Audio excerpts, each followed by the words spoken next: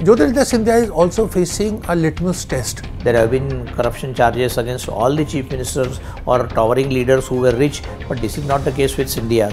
So the point is that in, in, in modern times when the society is looking up to good leaders, so Jyotiraditya Scindia could be mm, one of them.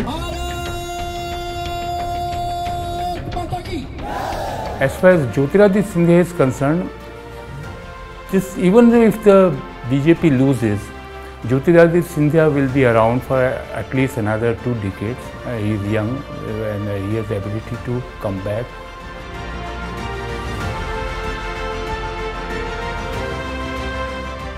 This and more streaming now on the world's first news OTT, News 9 Plus. Download now.